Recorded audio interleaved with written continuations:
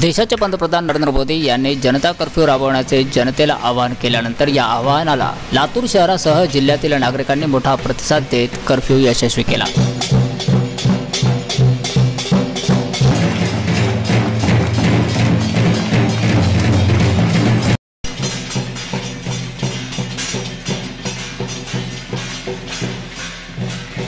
यानंतर आलेल्या संकटावर मात करण्यासाठी ज्या शासकीय यंत्रणा डॉक्टर आणि कर्मचारी आपल्यासाठी राबवत आहेत त्यांचे आभार मानत त्यांनी अभिनंदन केले.